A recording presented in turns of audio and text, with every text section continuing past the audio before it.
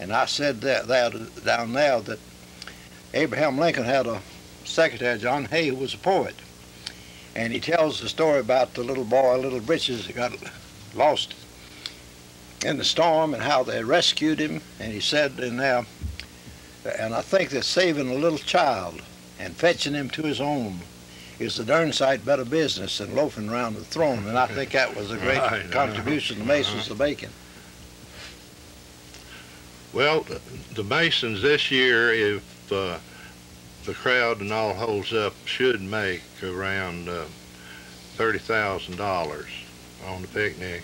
And one of the first years they had it, they made 30. So now, how many times, what percentage increase is that? That's pretty big, but- I expect I expect that thirty dollars would go a long ways in those days. You know, right. somebody was talking about uh, George Washington throwing throwing a dollar across uh, Rappahannock or the Potomac River. I've forgotten which, but uh, somebody remarked and said a dollar would go a lot further in those days in the middle of town.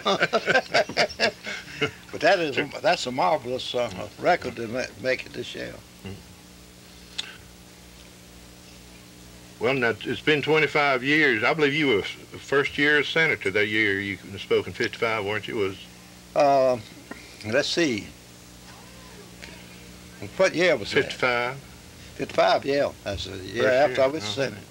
Well, 25 years, you've been had a lot. Seen a whole lot. Well, raise Been your through a whole lot since then. Senator Ervin, I have a question. Um, you travel around the state to, and to attend similar events to this, you know, through the year and through the years.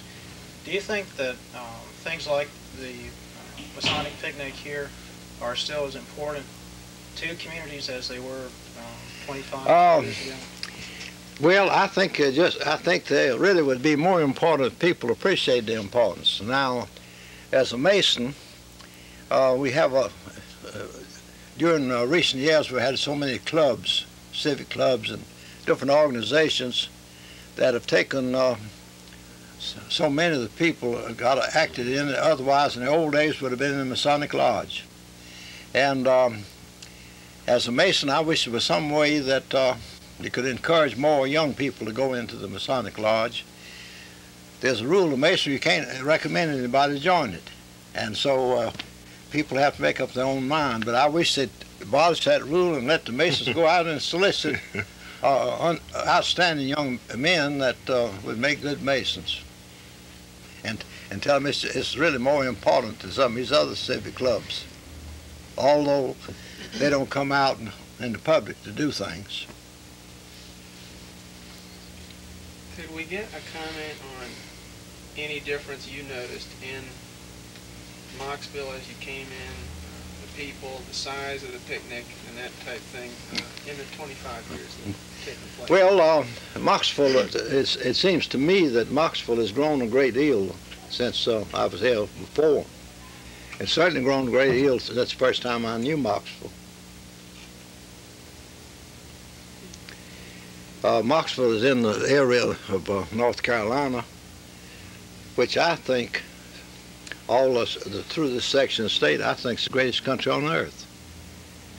I think it's more highly blessed but with uh, now we can't brag on our climate lately, but normally we can brag on our climate. but the greatest thing about North Carolina to me is uh, its people. I think we got the finest people on earth. But we were impressed that the day of your speech, the temperature dropped about 10 degrees. Uh-huh. And also the rainfall. It used to go up 10.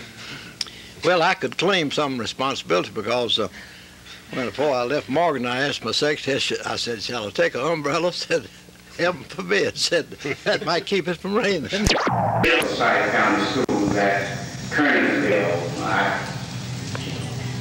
I thought I might have seen someone in the audience that didn't see that last year. I can go down the list and call you by name. Stand up, Mrs. Daniels, and let us see you too. I suspect that, uh, well, let's give her a hand. Ladies and gentlemen, we're glad to welcome to this, uh, 96, uh, personality to uh, uh, members of the respective sponsors of this annual affair, all the Masonic family, indeed, I'm very happy and elated to be here this evening to bring the message. As you know, I'm basically a preacher. Whatever you put a preacher on to do, somewhere along the way, he will end up with a little preaching. So if I begin to preach, I'm quite sure it will be perfectly all right. Help yourself. Help yourself. I uh, want to say I think this is a very worthy cause. The Davie County Education Union and the Corinthian Lodge, uh, Mocksville, North Carolina, respectively, come together to have this annual picnic, the proceeds of which will go for charitable causes. Uh-huh. And I want to compliment all the officers and the, all officers and members, respectively, of the lodge as well as the uh, Davie County Educational Union. Uh, I will talk about uh, this evening uh, a subject uh, that's dear to all of our hearts. Uh, I want to talk about no more walls. Walls tendency to divide us and separate us. And I want to talk about this evening, no more walls. That's good. And the reason why I want to talk about no more walls is because of the fact I think that we live in an age where we see gigantic walls being constructed. I think the preacher needs to address himself to this idea of no more walls. The Bible uh, makes it plain that Job, uh, who was living in the land of Uz, one day as he was going about his daily occupation, seemingly the devil came to Job, and when the devil came to Job, uh, seemingly everything began to happen that was bad. All of a sudden, he lost everything he had. His wife uh, even uh, looked at him suspiciously and strangely and told him to curse God and die in so many words. The devil had accused, indirectly and directly, of God building a fence around Job. We have Mr. B.T. Williams, and on the left, Mr. Clyde Studevant, and these two gentlemen have been instrumental in the, the uh, picnic each year now for quite a while. I will ask them how long. And if they'd both give me a little bit of background in what their organization has to do with this part of the picnic. All right, the Masons, uh, Corinthian Lodge number 17, um, donates their uh, labor and their time and everything here for the purpose of donating the the uh, funds to the Central Orphanage at Oxford North Carolina. Uh, it goes to that and for the upkeep of the Masonic Hall here in Mocksville. That's where it goes. Mr. Williams? Well, I think it has been, as has been said, uh, both organization, organizations contribute liberal. The main purpose in the founding of the organization was for higher education, but since then, any number of things, Central Orphanage come in, and that's one of the main purposes now of the Davie Education Union and the old and disabled people in the county.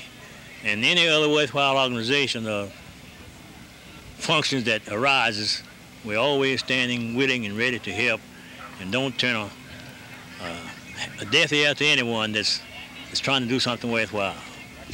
All right. How long has the picnic that we're talking about been going on, and how long have both of you been uh, coming, and uh, when do you remember starting out with the picnic? Uh, the Lodge, the Masons, united with the Davie Educational Union approximately 36 years. 36 years ago. Up until that time, it was solely run by the Davie Educational Union.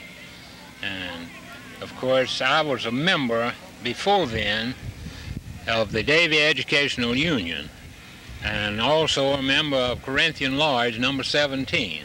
And we decided that we would uh, unite ourselves together and make a bigger and more uh, profitable organization out of the two.